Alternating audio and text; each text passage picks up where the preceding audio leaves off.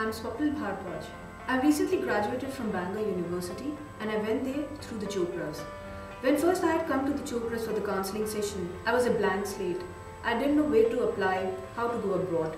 And my counselor actually guided me in how to file the applications to various universities.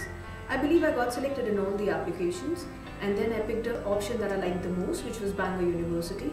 I got two scholarships as well. Then my counselor had advised me to appear for a mock interview for the IELTS preparation. And I believe that that really helped me in facing the final paper of the IELTS.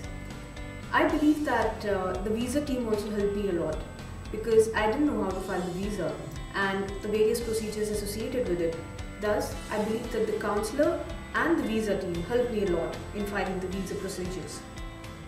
I believe the Chopras justifies their motto, shaping lives and careers, because they really did shape my life and my career. Thank you.